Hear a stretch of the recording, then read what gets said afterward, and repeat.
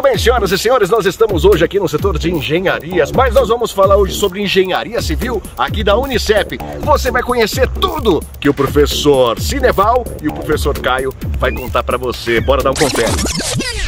Muito bem, nós vamos falar com o professor Caio, que ele vai falar um pouquinho para você sobre topografia.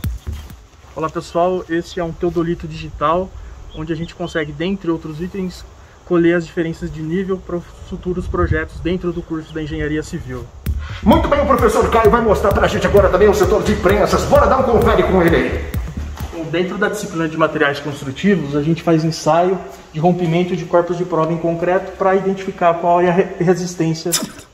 E dentro do laboratório de atividades práticas dos cursos de engenharias, tem o laboratório de hidráulica. O professor Cineval conta para você.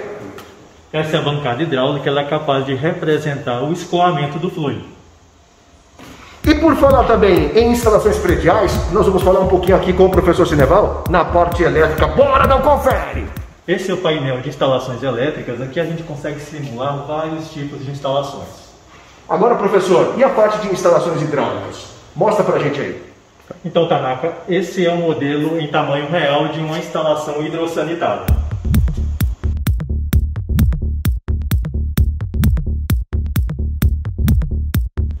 Você conhecer um pouquinho da estrutura do Laboratório de Engenharia Civil. Mas ainda dá tempo, né, professor? Isso, transforme-se em 2021. Venha ser um aluno Unicef.